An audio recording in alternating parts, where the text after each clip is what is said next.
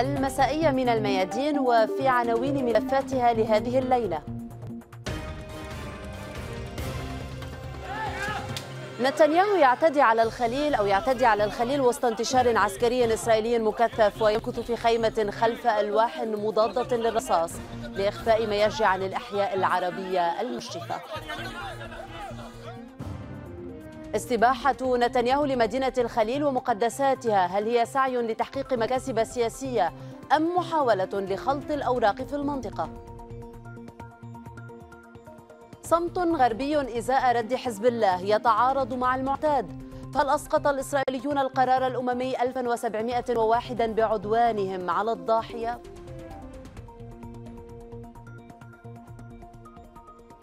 مساء الخير. عدوان جديد لرئيس الوزراء الإسرائيلي بنيامين نتنياهو في مدينة الخليل بالضفة الغربية المحتلة والهدف الحرم الإبراهيمي. بالتحليل المنطقي لا يمكن إخراج هذه الخطوة من سياق الخطط العدائية التي يتولى نتنياهو أو نتنياهو تنفيذها على مساحة المنطقة. من الغارات على قواعد الحشد الشعبي في العراق إلى الهجمات على الأراضي السورية إلى الاعتداء على ضاحية بيروت الجنوبية وصولا إلى غزة والقدس. وفي نتائج عدائية نتنياهو مأزق إسرائيلي متشعب. فقد أفضى تخطي الخطوط الحمراء في لبنان إلى قواعد اشتباك جديدة وضعها حزب الله. وسط صمت غربي على غير العادة إزاء رد الحزب على العدوان الإسرائيلي. وفي العراق اصطفاف خلف الحشد الشعبي في مواجهة الغارات الإسرائيلية. فأي معادلات يسعى نتنياهو إلى تغييرها في المنطقة؟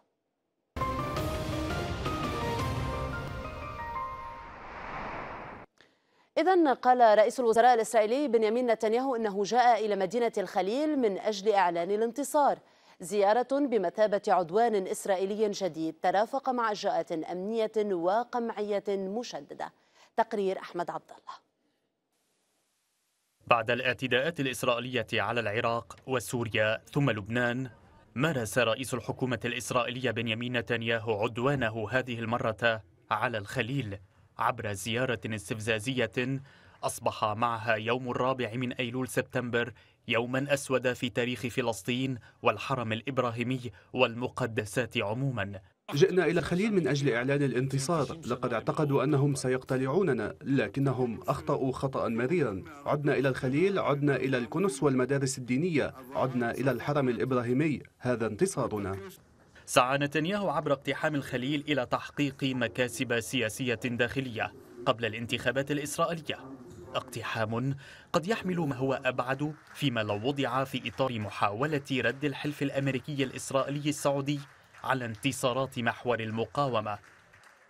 مكث نتنياهو خلال اقتحام الخليل في خيمة كبيرة بين ألواح مضادة للنيران لإخفاء ما يجري عن الأحياء العربية المشرفة بحسب ما ذكرته وسائل أعلام إسرائيلية. لتأمين عملية الاقتحام هذه انتشرت القوات الإسرائيلية بشكل مكثف في محيط البلدة القديمة وشارع الشهداء وحي تل في محاولة لمنع التحركات الفلسطينية الاحتجاجية. أن نحن كمواطنين فلسطينيين غاضبون من هذا الاقتحام من قبل نتنياهو لمدينة الخليل. نحن نشعر بالاستفزاز من استخدامنا كمواطنين فلسطينيين من استخدام مدينتنا من استخدام مسجدنا من استخدام ممتلكاتنا كدعاية انتخابية سياسية من قبل نتنياهو. فريق الميادين لم يسلم هو الآخر من الإجراءات القمعية بعدما طلب جنود الاحتلال من الفريق وقف التصوير في إجراء قمعي غير قانوني. إجراءات لم تمنع التلاميذ الفلسطينيين من تمزيق اللافتات التي علقها المستوطنون للترحيب بعدوان نتنياهو على الخليل والمسجد الإبراهيمي.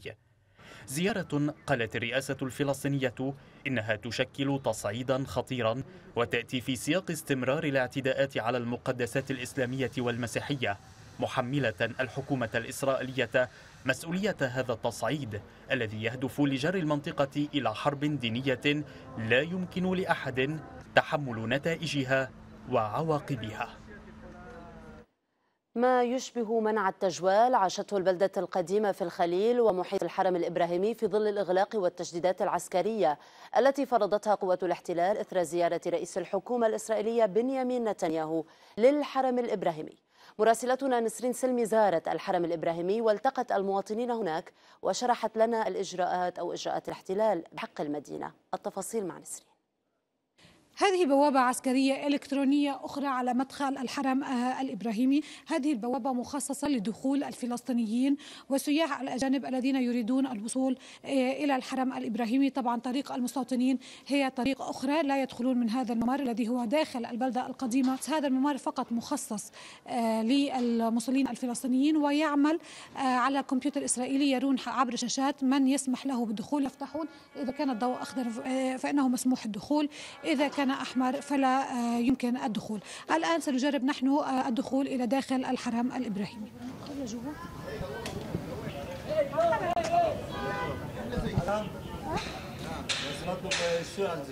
ليش ممنوع؟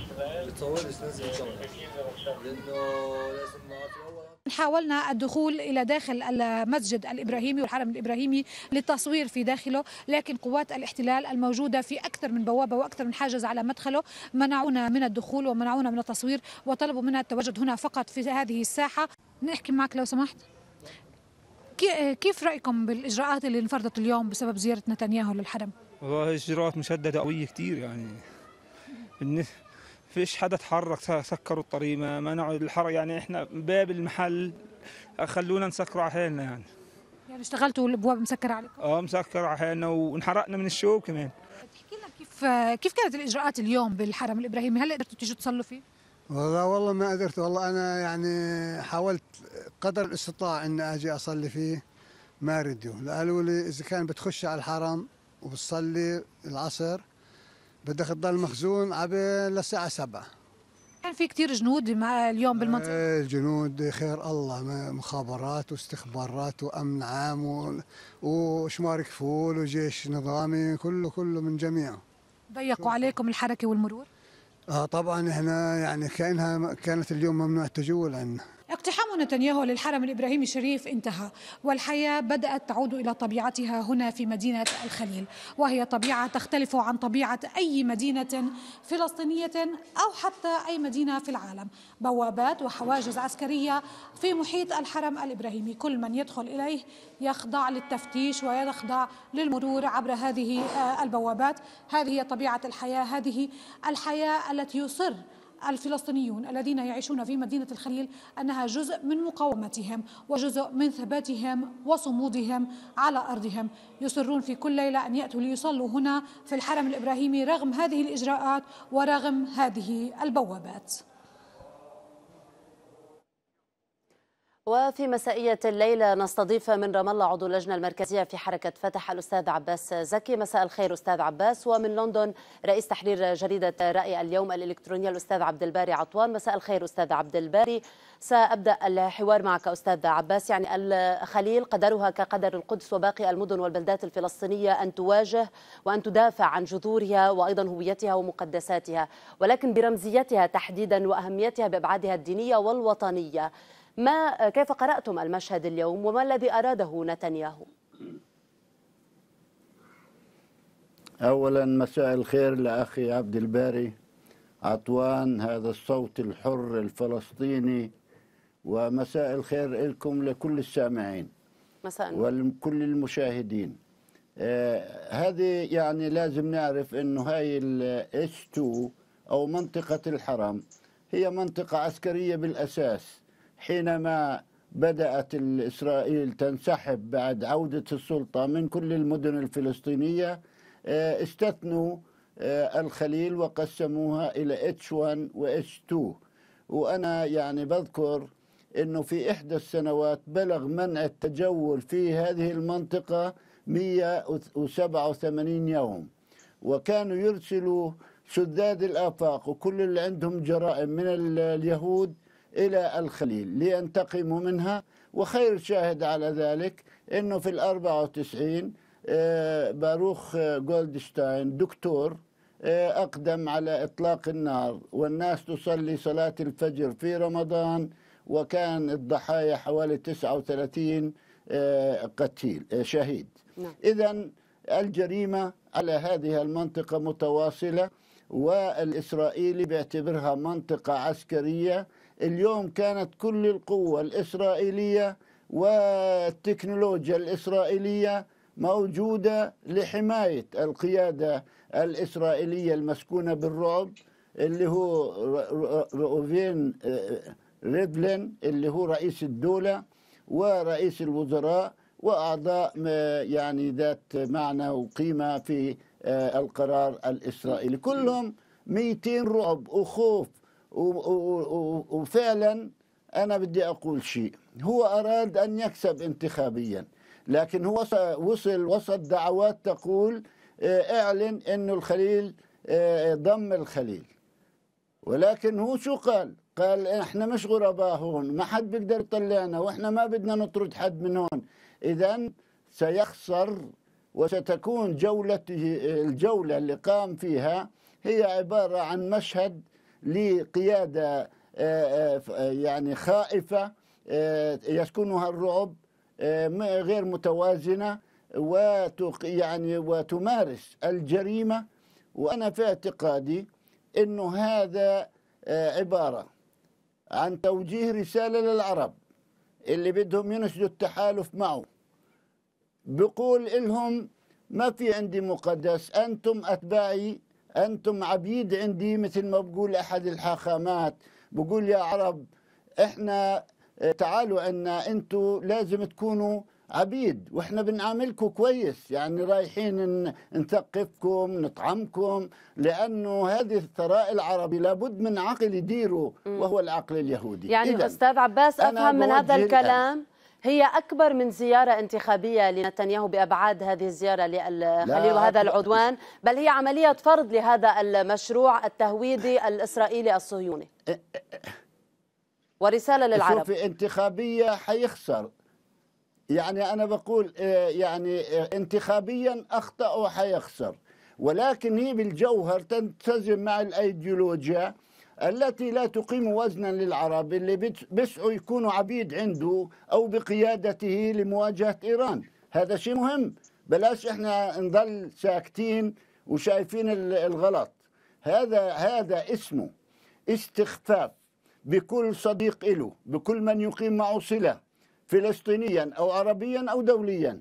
يعني في في في في بيقول حرب دينية. هل المجتمع الدولي مع حروب دينية؟ اذا هذا اللي بده ينافقنا ويحكي عن قضيتنا عليه أن يتوقف. إذا هو مع حرب دينية شيء شيء آخر.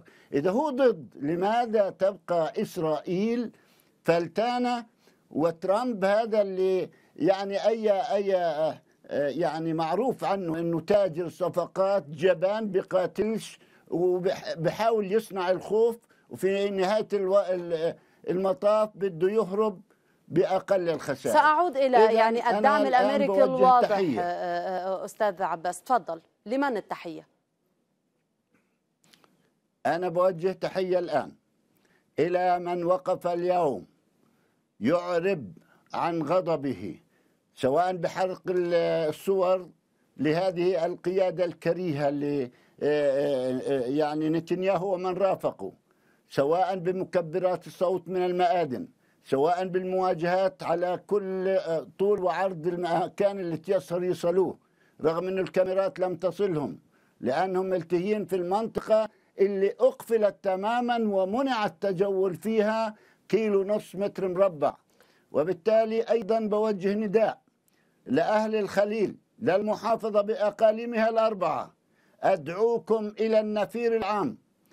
إلى أن تذهبوا بعيدا في الفعاليات النضالية لإسقاط نتنياهو وإشعار الإسرائيليين أنهم اقترفوا جريمة كما اقترفها شارون وأعتقد اللي بدافع عن عن الأقصى هم الخلايلة فكيف لا يدافعوا عن الحرم يعني بهذه النقطة جاوبتني قبل أن أسأل أستاذ زكي تحديدا لأنه الكل يسأل لماذا لم يتم لأنه بالحد الأدنى إجهاض هذه الزيارة بهذه التظاهرات وسأعود إلى هذه النقطة. ولكن اسمح لي بما قلته بالبداية تحديدا بأنها ليس فقط الهدف انتخابي بالنسبة لنتنياهو بل هو أيضا رسالة لكل من هو صديق فلسطيني أو عربي أو حتى إقليمي له. ما رأيك بهذا الكلام أستاذ عبد الباري؟ صحيح أنه الخليل أنجبت الشهداء لم تبخل أيضا بالدفاع عن عروبة هذه المدينة وهذه البلدة التاريخية وتصدوا بشجاعة يعني تاريخيا بال 94 وحتى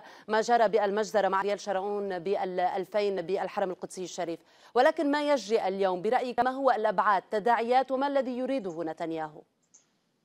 ست وفاء تحية لك وتحية أيضا للأشقاء أو لكل المشاهدين. أيضا تحية خاصة للصديق العزيز أبو مشعل الأستاذ عباس زكي ابن الخليل البار وابن فلسطين البار. يعني حقيقة نتنياهو لا يعرف أبطال الخليل لا يعرف شعب الخليل لا يعرف شعب الفلسطيني. هذا رجل فعلا مثل ما تفضل الأستاذ عباس زكي هذا رجل مذعور. عندما يأتي بالجحافل بالمدرعات بالمئات من رجال الأمن بالمخابرات عندما يضع يعني ألواح من الزجاج المضاد للرصاص هذا رجل مرعوب حقيقة ويعرف أنه في قلب دائرة النار في فلسطين. هذا الخليل مش لعبة. هذه نقطة. هذا رجل في حالة سعار حقيقة. هذا رجل يضرب في العراق يضرب في لبنان يرسل طائرات مسيرة أيضا يعني يستفز الفلسطينيين. هذا رجل حقيقة يريد يعني أن يظهر بمظهر القوي يشعر بأنه يعني على وشك الهزيمة أو متجه نحو الهزيمة الانتخابية والهزيمة الإقليمية أيضا. هذا هو يعني الآن عندما يرسل الأنظمة دفاع جوي إلى حدود لبنان عندما يدعي بأن حزب الله يعني يبني مصنعا في البقاع للصواريخ الدقيقة عندما يتصرف بهذه الرعونة. يعني هذا الرجل يعني فعلا فعلا في حالة انعدام وزن في حالة رعب في حالة خوف. بالنسبة لزيارة الحرم الإبراهيمي زيارة الخليل خليل الرحمن المباركة في هذه الزيارة هو يريد أن يقول إنني قوي. بالعكس ظهر في قمة الضعف. الشعب الفلسطيني في الخليل وفي كل الأراضي المحتلة يعني الآن ينظر لهذا الكيان نظرة استخفاف. يعني يعتقد بأنه حقيقة حقيقة على أبواب انتفاضة كبرى. الخليل كانت دائما هي يعني المفرخ الحاضنة للأبطال للذين نفذوا عمليات بطولية ضد الاحتلال ومستوطني الاحتلال. هذا هو يعني أراد نتنياهو بهذه الزيارة أن يطمئن مستوطنيه بأنهم في أمان هم ليسوا في أمان على الإطلاق.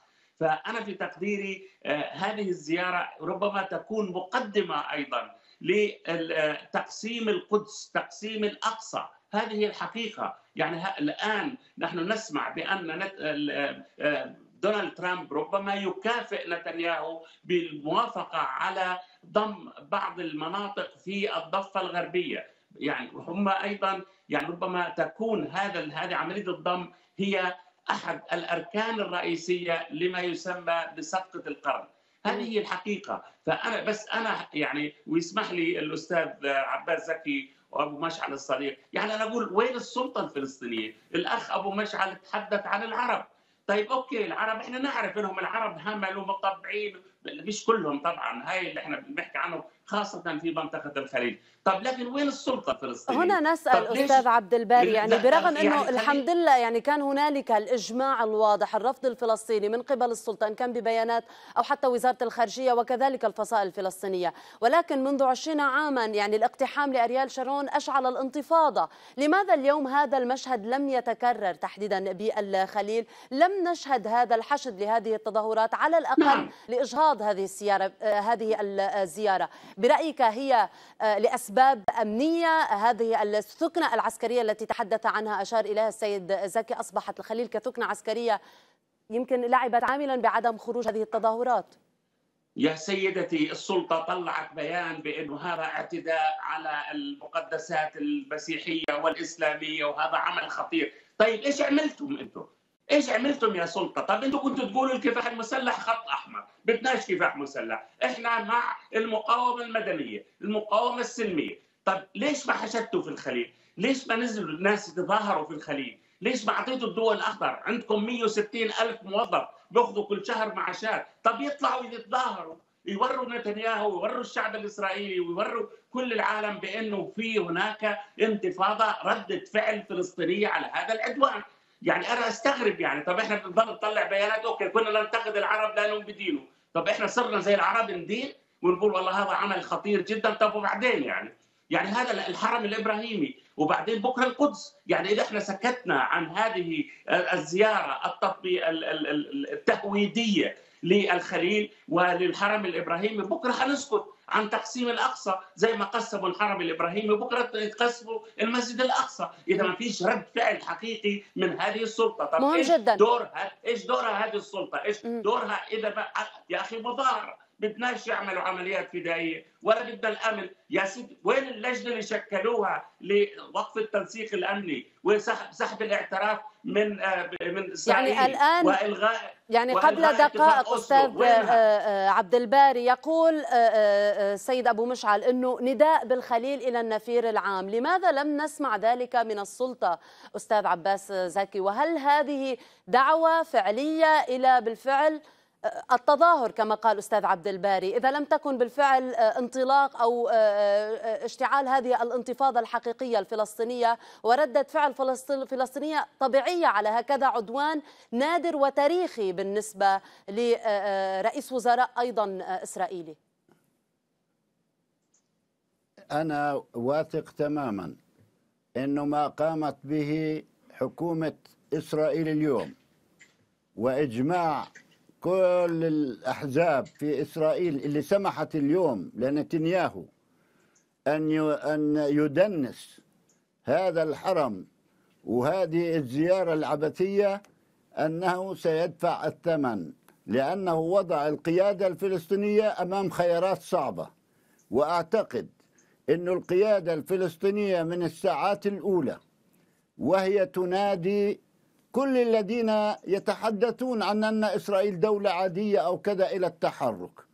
وما قصرت في هذا ولكن وضعها أمام خيارات لابد للجنة العليا اللي شكلت من أجل تنفيذ قرارات المجلس المركزي والمجلس الوطني أن تظهر بسرعة. ولا بد أيضا من تغيير في النهج والأسلوب في التعامل مع هؤلاء الذين يعرفون جيدا أن هذا الشعب الفلسطيني هو شعب الشدة وغير قابل لرفع الأيدي والاستسلام. وأنا في اعتقادي وبطمنكم أنه لم يعد عند السلطة مجال بترحيل الأزمة سواء بضغط دولي أو إقليمي لأنه وصلت الأمور إلى حد لا يطاق. ولننظر بخير إلى الأيام القادمة. أنا لما بوجه النفير العام لمحافظة تعدادها 850 إلى 900 ألف نسمة. أيضا بوجه نداء لكل المحافظات ولكل المدن الكبرى اللي الخليل. ما ما ما عكرت صفو آه، أن يفرحوا برحيل هذا الاحتلال أن يكونوا الآن مع الخليل. ولتبدأ معركة الشعب الفلسطيني من الخليل كي لا يجوز للإسرائيليين أن يستغلوا المسجد الأقصى والآن يشغلوا يشغلوا الخليل حتى يستفردوا بما تبقى من أرض من مقدسات من من من قدرات من أنا بأشوف إنه الآن يعني أفهم من هذا الكلام دعوة واضحة صريحة من قبلكم بحركة فتح إلى النفير العام آه، أستاذ عباس زكي. ويعني للأسف نحن أمام حتى التعتيم نعم. الإعلامي. لست ادافع يعني لأنه لأنني مذيعة في قناة الميادين ولكن الوحيدة الميادين التي بالفعل خصصت اليوم الهواء لهذا العدوان الذي أسميناه عدوان إسرائيلي على الخليل وعلى كل الأراضي الفلسطينية. نحن آه، نحن يعني نعرف جيدا هاي المكانة اللي بتتمتع فيها في عقول وقلوب الأوفياء للقضية العربية والفلسطينية متجسدة بهذه القناة. وأنا يعني بعرف تماما إنه الفرس على الفارس. هذا يعني غسان بن جودو كان ينزل عمليات مع وهو في الجزيرة مع آه، دوريات لحزب الله.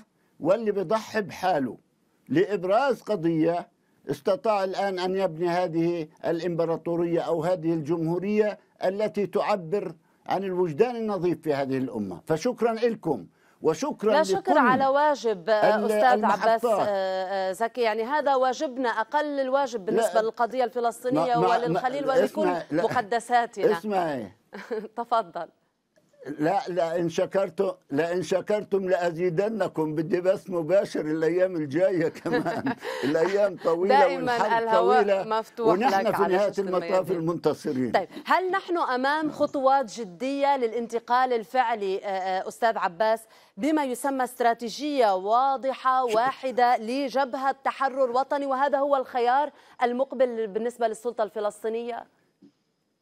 أو الخيار الوحيد؟ شوفي واضح تماما. واضح تماما إنه غزة قيد التدمير والضفة قيد التهويد. وأنا بقول لغزة وللآخرين. بقول لحماس وللجهاد ولكل الفصائل. تعالوا لقاء لا غالب ولا مغلوب. الكل جرب منكم لحاله يطول الزير من البير ووقف أنا رأيي أنا الأوان. أن نغتنم الفرصة في الدفاع عن المصالح للشعب الفلسطيني.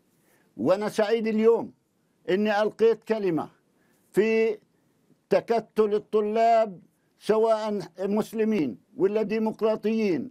فتح حماس كله. كانوا اليوم متجمعين تحت شعار الكتلة التاريخية.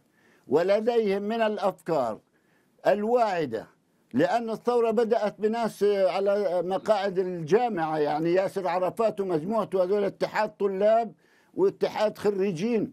والآن اللي اليوم سمعته والثقافة اللي الآن بتتكرس واليوم اللي سمعناه من نداءات في الخليل وفي محافظات أخرى حكوا معي آن الأوان يعني والدفاع عن الحرم الإبراهيمي وال- وال- والمسجد الأقصى فرض عين مش فرض كفاية. ولا طاعة لمخلوق في معصية الله. حتى لو كان أي دولة أي صديق بقول لنا استنوا شوي هذا بده يحرف نضالنا وبده نسلم بالوقائع إسرا- الإسرائيلية والحل اللي بدها إياه أمريكا وإسرائيل.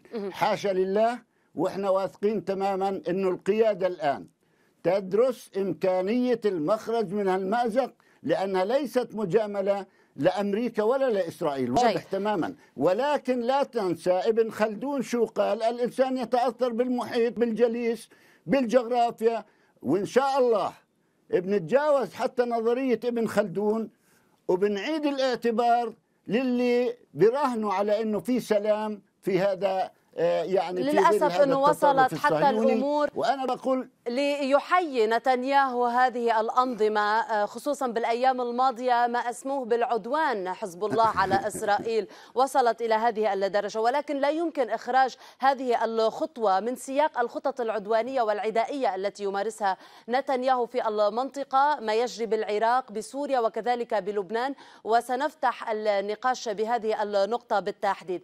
ولكن أستاذ عبد الباري بتعليق آه، على ما ذكره الأستاذ عباس زكي قبل أن أنتقل إلى الملف الآخر بما نتحدث عنه عن توسيع هذا الإطار هذه الساحات المشتركة أو المفتوحة على بعضها البعض بالنسبة لمحور المقاومة. برأيكم هل الآن أمام يعني خيار واحد السلطة الفلسطينية وليس الرهان بات على الحل السياسي؟ التفلت من كل الاتفاقيات من أوسلو حتى الآن هذا هو الخيار الوحيد أمامه. يعني آه، الأستاذ عباس زكي وأنا أعرفه من سنوات من عقود حقيقة دائما يغرد خارج السر ودائما مع الجماهير ودائما مع المقاومين. هذا لكن المشكلة مش مع الأستاذ عباس زكي المشكلة مع صناع القرار في السلطة الفلسطينية. هذه المشكلة. إحنا نطالب حركة فتح هذه الحركة العظيمة اللي حملت النضال الفلسطيني حافظت على الهوية الفلسطينية على المشروع الوطني الفلسطيني وقدمت آلاف الشهداء. يا أخي الآن يجب أن يتم التحرك. الآن فلسطين كلها بتضيع. يجب أن يكون بدناش نحكي عن اللي بيطبعوا ولا عن اللي بيب- بيباركوا للعدوان الإسرائيلي على لبنان وعلى أشرف ظاهرة هذه الأمة اللي ظاهره المقاومة في لبنان. لا إحنا بدنا نحكي لا اولا للشعب الفلسطيني. هذه الحركة المناضلة يجب أن تتحرك. يجب أن تقول لا حتى لكل الذين يحاولون أن يشوهوا صورتها. سواء في السلطة أو في خارجها. هذا المطلوب الآن يا أستاذ عباس. مش المشكلة؟ الجهاد وحماس. يعني الجهاد وحماس بيقاتلوا بيقاتلوا من غزة وبيطلقوا صواريخ. إحنا بدنا تصير التحرك في الضفة ويكون يا سيدي يصير مقاومة شعبية. مش م... إحنا بس يصير في تحرك مش معقولة. يعني زي يعني بالمرة القدس الآن اليوم الخليل بكرة القدس. ف وبعدين زي ما تفضلت اللجنة العليا أي لجنة عليا؟ يعني لماذا يستمر آه، التنسيق الأمني حتى هذه اللحظة؟ يعني إحنا يعني ما فيش حركة تحرير في العالم نسقت امنيا مع الاحتلال إلا إحنا. فالآن هذا الوقت يعني هذا هو يعني يجب أن تتحرك السلطة، إذا أرادت أن تسقط نتنياهو، مشروع نتنياهو اللي هو مشروع الصفقة الكبرى، عليها أن تتحرك وأن تجعل مسيرة هذا المغرور، هذا المتكبر، هذا العنصري أن تجعل مسيرته صعبة، ولن يسقط نتنياهو إلا السلطة والشعب الفلسطيني، لكن المشكلة ما فيش حركة، ما في حركة على الإطلاق، بيان زي الجامعة العربية زي منظمة المؤتمر الإسلامي. معقول إحنا الفلسطينيين نطلع بيانات نقول هذا تطور خطير جدا؟ والله يصح إنه أي تطور في أخطر من هيك؟ هذه الخليل هذه الخليل. خليل الرحمن المباركة. هذا الشعب العظيم اللي 900 ألف إنسان مناضل كلهم مجاهدين كلهم مقاتلين كلهم شرفاء. يعني تقف لوحدها في وجه هذا نتنياهو وهذه الحشودات تقف في وجه المستوطنين لحالها ولا تجد أي دعم من السلطة. يعني مأساة والله مأساة بكل معنى الكلمة. يعني طب أنا بسأل سؤال بدي أسألك يا أبو مشعل. يعني طب ليش نتنياهو بزور الخليل والرئيس محمود عباس لا يزور الخليل؟ لم يزور الخليل من 26 سنة من يوم ما اجى على الضفة الغربية. طب ليش ما يزورها الخليل؟ ليش ما ليش ما يزوروها؟ يعني هذا سؤال أرجوك اسأل الرئيس عباس أنت بتعرفه قريب منه أنا الحمد لله بعيد. اساله يا سيدي ليش ما زرت الخليل؟ بدناش غزة يا سيدي. غزة فيها حماس وفيها الجهاد وفيها داعش. طيب الخليل يزور هاي خليل الرحمن يزورها. يعني ليش نتنياهو يزورها وعباس ما يزورها؟ طب انت رئيس للشعب الفلسطيني كله تفضل روح خل... هاي شعبك. هذول يعني ناس شرفاء ناس مناضلين ناس مجاهدين ناس يعني حقيقة قدموا أكثر يعني مدينة الخليل من أكثر المدن الفلسطينية اللي قدمت شهداء. يعني فتستحق زيارة. طيب ليش ما يزورها الرئيس عباس؟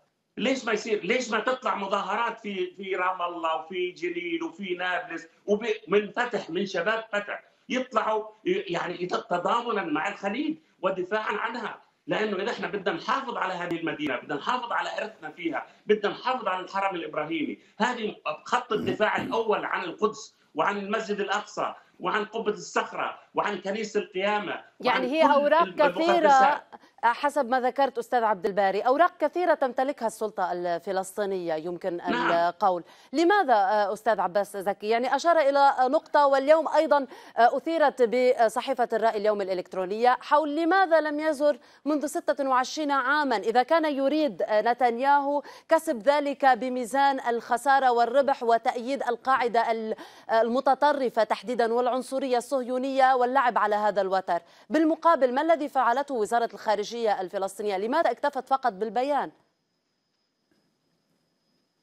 آه، اولا آه، أنا بدي أطمن أخي عبد الباري آه، باعتبارك فلسطيني حر. طلبك كان الرئيس قد قرر مش بفكر قرر زيارة الخليل ونابلس كمحطتين عندما انطلق أيضا بزيارة الجلزون كمخيم سيزور مخيمات أخرى. وانتهت سياسة بالفعل أن الرهان الأخير على هاي الجماهير. وبالفعل أنا واثق تماما بأن رسالتك ستصل وستطمئن تشوفوا أنه إن شاء الله بزور الخليل وبزور نابلس وبزور المناطق الأخرى. لكن القصة وغزة وغزة تكمن في الوضع الفلسطيني. وغز... ليش لا؟ أنا أنا أنا بتعرف آه، رأيي. إذا كان بالفعل أردنا مستقبل فلا بد من تجاوز هذا الانقسام العار المخجل. إحنا الآن كلنا رأسنا على المقصلة وتاريخنا مهدد ومستقبلنا مهدد. شو بظل؟ فأنا بقول لا غالب ولا مغلوب. وحال أن تبدأ الأمور اجماع شعبنا كمان قوة ودائما على خير. أنا بحكي اليوم شفت من تنظيم فتح المسؤول المباشر في المنطقة اعتقلوه من الصباح اللي هو مهند الجعبري. هلا طلعوه قبل شوي من السجن. وعماد خروات كان في الحرم. يعني الأمين السر الأعلى واحد. زي ما شفت اليوم أنا آه، أمين سر جهاد اللي هو في نابلس في جنسية بواجه بصدره في البارود. يعني الأمر معطى أخ عبد الباري للشباب في حركة فتح كل في محافظته لحماية يعني آه، ما الشعب والأرض. والقدس انت بيعرف المعارك خضناها لكن هذا كله في عند واحد حر زيك ما بيقبله بده أكثر أكثر. أستاذ عباس بس أنا بقول كل شيء يعني نحن نعلم ونقدر الآن. نحن نعلم ونقدر يعني التحديات الكبيرة التي تواجه السلطة الفلسطينية خصوصا يعني بهذه المرحلة الحساسة بالقضية الفلسطينية التي تواجه ما يسمى بصفقة القرن. أفشلت يقال أنه منذ انطلاقها أفشلت. وإن كان ترامب يقول بأنه سيعلن عنها دعما لنتنياهو بالقسم الثاني من هذا الشهر أيلول بعد ال 15 من سبتمبر وبعد السابع عشر. ولكن هل تشعر السلطة بأنها وحيدة في ظل هذه الضغوط العربية آه، آه، بحقها وعمالة بعض الأنظمة والتطبيع مع إسرائيل بوجه السلطة الفلسطينية؟ يعني لا أريد أن أكشف سر. في شهر أربعة شفت للرئيس أبو مازن. نعم. قلت له كلمة الله هل تكفي؟ قال لا. قلنا شو رأيك نعمل آه، شبكة أمان عربية؟ قال فورا.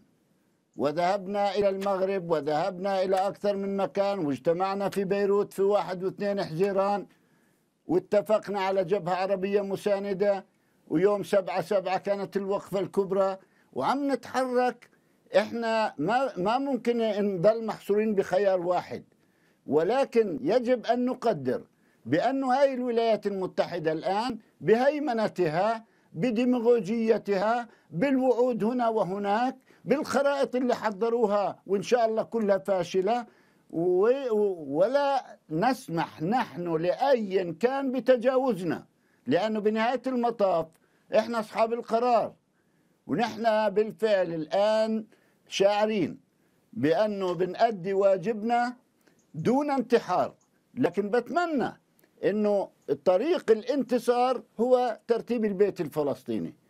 نحن بصراحة ووضوح بجوز هاليومين ثلاث تتم دعوة إلنا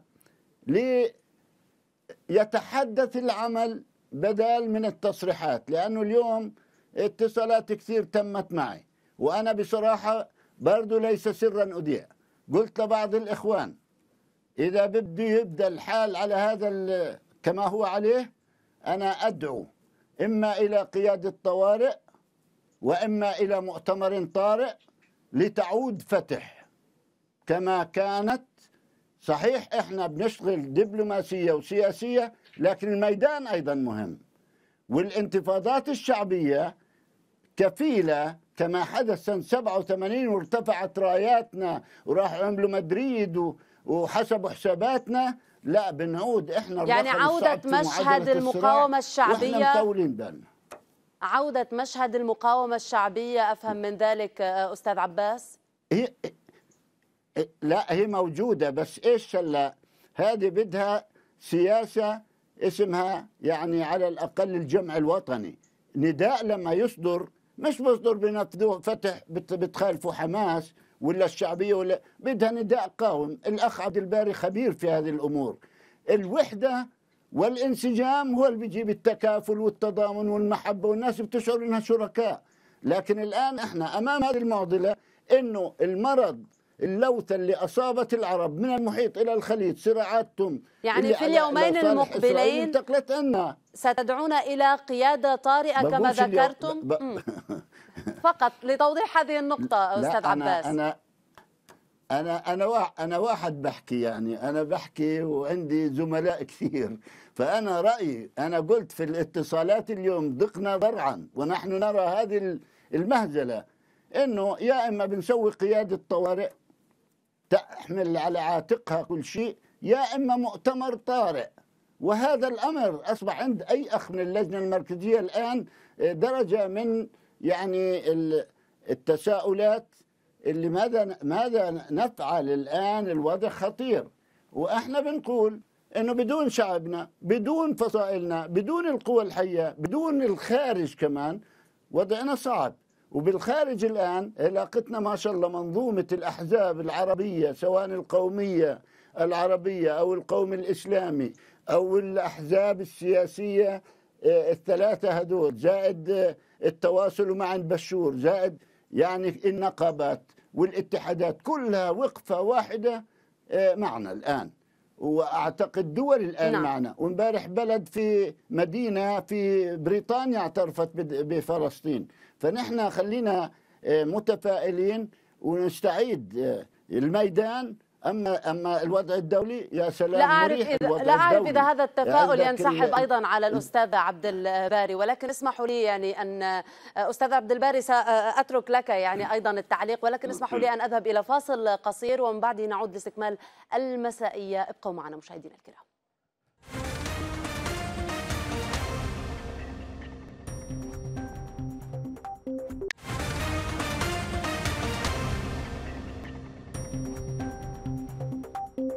أهلا بكم من جديد إلى المسائية بملفها الثاني حيث حاولت إسرائيل عبر إرسال طائراتها المسيرة خرق قواعد الاشتباك مع حزب الله. لكن رد الحزب جاء حاسما بتثبيت قواعد الاشتباك التي كانت قائمة وفرض قواعد جديدة. في قاموس الحكومة الإسرائيلية يسجل القرار الأممي 1701 أنه إنجاز لإسرائيل.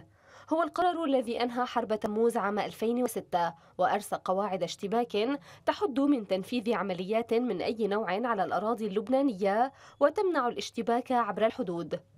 عبر إرسال طائرة مسيرة إلى ضاحية بيروت الجنوبية خرقت إسرائيل القرار وأسقطته فعليا. فجاء رد حزب الله حاسما. ليس بإفشال المحاولة الإسرائيلية وحسب بل بتثبيت قواعد الاشتباك التي كانت قائمة وفرض قواعد جديدة. فرد حزب الله جاء عبر الخط الأزرق والرد على أي اعتداء إسرائيلي مستقبلي سيتم على الأرجح عبر الحدود أيضا. كما بات مؤكدا أن أي طائرة مسيرة تخرق السيادة اللبنانية سيكون مصيرها الإسقاط وسط إجماع لبناني نادر على رفض أي اعتداء. أهمية رد حزب الله لا تأتي من عملية أفيفيم في حد ذاتها بل في الخوف والهلع إسرائيليا على جميع المستويات والذي تجسد في اختفاء كلي في منطقة الحدود الشمالية لفلسطين المحتلة إلى حد وضع دمن داخل الآليات الإسرائيلية للتمويه ناهيك عن الذعر في صفوف المستوطنين والتخبط داخل الحكومة الإسرائيلية الذي ترجم استنفارا دبلوماسيا غربيا لثني حزب الله عن الرد عبر التهويل والتهديد والترغيب. أما بعد الرد فساد الصمت الغربي والأمريكي لتجنب تفجير المنطقة في حرب واسعة إذا ردت إسرائيل على رد حزب الله في ظل إدراك جميع الأطراف لقدرات حزب الله وتصميمه على استخدامها للرد على أي اعتداء إسرائيلي. إذا أرحب من جديد بمسائية الليلة بضيفينا الأستاذ عباس زكي وأيضا الأستاذ عبد الباري عطوان. سأستأنف الحوار معك أستاذ عبد الباري. يعني هل يحاول نتنياهو بما جرى اليوم من عدوان على الخليل ترميم هذه الصورة بهذا السلوك الاستعراضي إذا يمكن القول؟ وأيضا هذا الاعتداء المتنقل الإسرائيلي يعني من العراق إلى سوريا وصولا إلى لبنان وتغيير قواعد الاشتباك، كيف يمكن قراءة هذا المشهد؟ وهل هو بمأزق متشعب يمكن القول نتنياهو؟ يا ست وفاء لو نتنياهو انتصر في المواجهة الأخيرة مع حزب الله مع المقاومة لما ذهب إلى الخليج؟ يعني هذه ببساطة. يعني هو لو كان منتصرا فعلا ولو كان قويا لو كان خرج من هذه المعركة كاسبا لما ذهب إلى الخليج. باختصار شديد جدا. يعني هذا الرجل مثل ما قلت في حالة سعار يعني عندما رد بحوالي 100 قذيفة على اللي هو كرد على آه، استهداف حزب الله بصواريخ الكورنت العربة المدرعة الإسرائيلية، أين وقعت هذه القذائف؟ وقعت في الخلاء. يعني لو هو فعلا رجل يريد أن يرد بكل معنى الكلمة لما أطلق هذه القذائف في الخلاء. ولما الآن أرسل يعني مثل ما أكدت وكالات الأنباء إنه الآن منظومات الدفاع الإسرائيلية تعززت على طول الحدود اللبنانية. وهناك محاولات أيضا للإيحاء بإنه في مصنع للصواريخ الدقيقة أقيم في منطقة البقاع. وإنه هذا يشكل خطرا على الأمن الإسرائيلي. ويشكل خطرا على الوجود الإسرائيلي، وجود دولة إسرائيل نفسها. فأنا في تقديري حتى هذه الضربات المسرحية ضد الحشد الشعبي وفي سوريا وفي آه، لبنان، يعني ماذا أنت هل أثرت هذه الضربات 227 ضربة في سوريا؟ هل أثرت على الخريطة القتالية في سوريا؟ هل أثرت على انتصارات الجيش السوري واستعادته لمعظم الأراضي السورية؟ هل أثرت على قوة إيران لليوم اعلنت دخول المرحلة الثالثة من التخصيب واللي هي تكثيف أجهزة التخصيب المركزي؟ يعني هذا كله يؤكد بأن يعني كل محاولات نتنياهو يعني فاشلة وكلها عبارة عن حركات مسرحية. هذه الحقيقة. المقاومة الآن أكثر هل هو رد إسرائيلي بالنسبة لنتنياهو أم رد الحلف الأمريكي الإسرائيلي حتى السعودي على إنجازات هذا المحور بأكمله ومحاولة لخلط الأوراق؟ يمكن القول أستاذ عبد الباري. يا سيدتي يعني أنا يعني بقول لصديقي أبو مشعل الأستاذ عباس زكي. يا أخي إحنا ليش حاصرين العرب كلها في السعودية وشوية دول خليجية يا أخي قديش بمثلوا بالعرب. إحنا عندنا مخزون عربي ضخم جدا. هذا المخزون في المغرب العربي في الجزائر في تونس في آه، موريتانيا في آه، ليبيا في مصر في في السودان. مخزون عربي ضخم جدا. في سوريا في العراق. هذه هي الشعوب العربية التي يجب أن نراهن عليها؟ وهذه الشعوب هي مع محور المقاومة.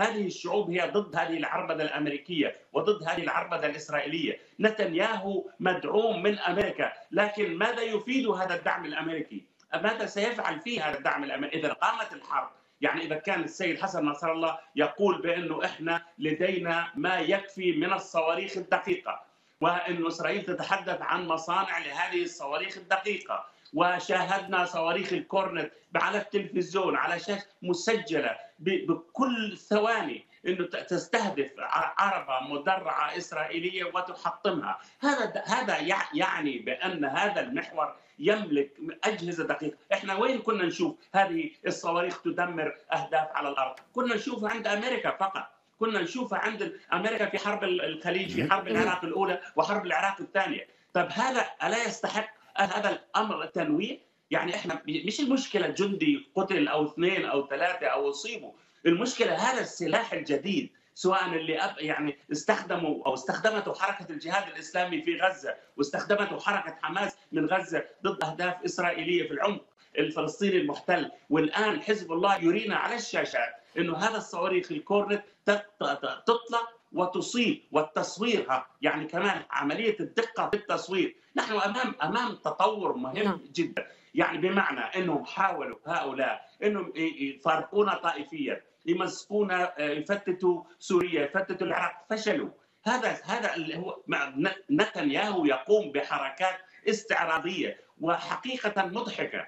هو يريد أن أن أن يفوز في هذه الانتخابات لأنه جزء من مشروع أمريكي ولذلك كان ملفتا هذه المرة آه، أستاذ عبد الباري يعني هذا الصمت الغربي الأمريكي بعد رد آه، حزب الله. يعني السيد قال آه، الأمر ليس فقط رد اعتبار بل يرتبط بتثبيت معادلات وقواعد الاشتباك. نعم. يعني حتى أدى الاعتداء على الضاحية إلى إسقاط القرار الأممي 1701 نعم. أستاذ عباس إلى أي مدى هذا التطور الأخير؟ أتحدث عن مقاومة كاملة ليس فقط مقاومة لبنانيه اللبنانية أو من المقاومة في سوريا أو في العراق أو حتى فلسطين بل محور بأكمله. إلى أي مدى سيرخي بظلاله على القضية الفلسطينية؟ على ما تمر به من مرحلة حساسة بصفقة القرن إن كان بالتقسيم الزماني والمكاني وعلى الصراع العربي الإسرائيلي بأكمله. يمكن القول.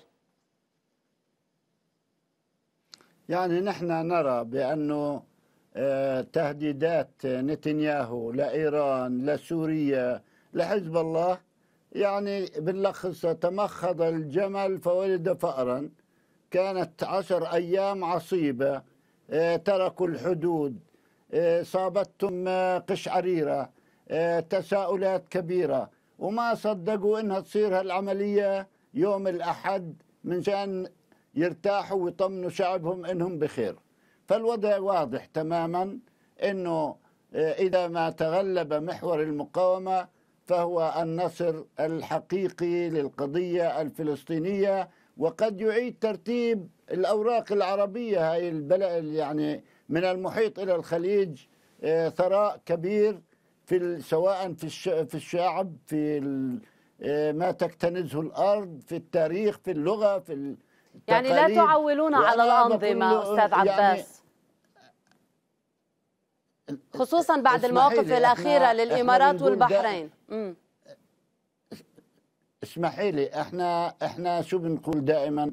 اللهم اللهم احمني من أهلي من أصدقائي أما أعدائي فأنا كفيل بهم. إحنا بظرف لن نعطي أحد رخصة أن يذهب مع إسرائيل. سنلاحق العيار لباب الدار. لما عقد القمة في الظهران سموها قمة القدس. إحنا راضيين. ثمان ثمان نقاط. بنطالب بالتنفيذ. بنطالب يكونوا عند التزاماتهم. لكن ما بنقدر الآن نوزع عليهم هلأ هويات إحنا. لكن التاريخ لا يرحم. وأنا إحنا عندنا آه، شيء كبير يعني بيحكي عننا. القدس. من تكن بوصلته نحو القدس هو المنتصر.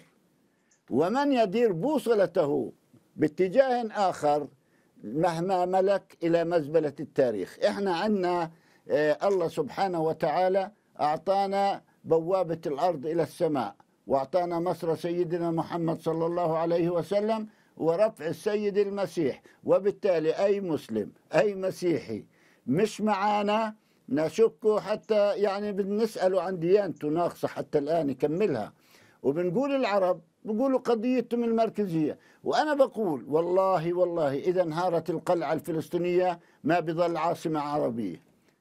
يعني بميزان القوى من يمتلك القوة أستاذ آه، آه، من خلال الرد الأخير لحزب الله من يمتلك القوة آه، يردع إسرائيل بقواعد الاشتباك هذا بات واضحا برأيكم صح. هل استباحت إسرائيل هذه المقدسات وهذا العدوان إن كان على سوريا والعراق ولبنان وفلسطين وغزة والضفة وأراضي 48 لولا هذا التواطؤ برأيكم العربي؟ يعني هي كانت الضوء الأخضر أكثر من آه، الأمريكي أو الغربي. يعني لا لا تخليني محامي شيطان. يعني 380 مليون عربي. لو فعلا قضيتهم المركزية وكانوا على قد حالهم ما بصير فينا هيك 72 عام وإحنا في والآن كمان بتشاطروا علينا وبدينونا وبطالبونا ننتحر.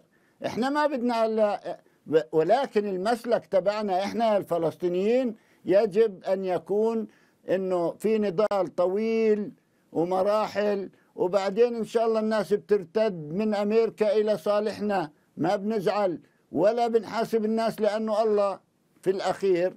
بقول شو معنى القدس؟ يعني كما ذكرت أستاذ عباس التاريخ لا يرحم. يعني آه، آه، آه، أفشلت صفقة القرن لأنه لا يوجد فلسطيني يريد التوقيع عليها وحتى لو وافقت كل هذه الأنظمة. بسؤال أخير لك أستاذ عبد الباري. كان لافت جدا هذا الصمت الغربي الأمريكي المطلق بعد الرد لحزب الله.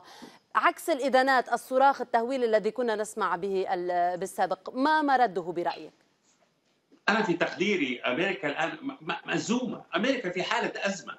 أمريكا لا تس... لا ت... يعني في حالة أزمة مع إيران. أن تعود إيران للتخصيب بمعدلات عالية جدا. وأن يعني تزيد معدلات أجهزة الطرد المركزي الذي يخصب اليورانيوم. وأن يرفض السيد روحاني اللقاء ثنائي مع الرئيس الأمريكي على هامش اجتماعات الجمعية العامة للامم المتحدة، هذا فشل أمريكي، أمريكا الآن حقيقة تهزم، أمريكا حتى طالبان تهزم أمامها، وتريد الانسحاب بأي شكل وبدون حتى تقديم أي شيء. نعم. الآن قواعد الاشتباك ثبتت. الآن المعادلات ثبتت. الآن هناك رد هناك محور مقاومة وأنا أتمنى على الصديق عباس زكي أن يكون الشعب الفلسطيني مع محور المقاومة. إيش أعطانا المحور الآخر؟ أعطانا صفقة القرن. النقطة الأخرى إنه إحنا صحيح هناك شعوب هناك دول حكومات مطبعة لكن شعوب حتى شعوب الخليج حقيقة أنا أقابلهم هنا في لندن وفي أماكن كثيرة هم معنا. هم مع قضية فلسطين. علينا ألا نشك في ذلك على نعم. الإطلاق. نعم. هم مع المقاومة. هم مع ولذلك دائما التعويل حقيقة. على نضال هذه الشعوب والإيمان بهذه نعم. القضية الفلسطينية. أشكرك جزيل الشكر للأسف. انتهت المسائية أستاذ عبد الباري عطوان رئيس تحرير جريدة الرأي اليوم الإلكترونية. كنت معنا من لندن. الشكر موصول لك أستاذ عباس زكي عضو اللجنة المركزية في حركة فتح. كنت معنا من رام الله. وبالتأكيد مشاهدينا الكرام للمزيد من الأخبار يمكنكم زيارة موقع الميادين على الإنترنت باللغتين العربية والإسبانية وكذلك مواقع الميادين أو صفحات الميادين على مواقع التواصل الاجتماعي. المسائية أو المسائية انتهت. في أمان الله.